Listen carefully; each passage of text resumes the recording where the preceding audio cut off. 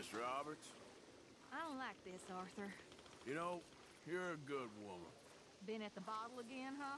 Mr. Marston? Hello, Arthur. Ah, look at the proud and caring father. Don't start with this. I'm only ribbing you. Calm down. All right then, Arthur. Oh, it's you.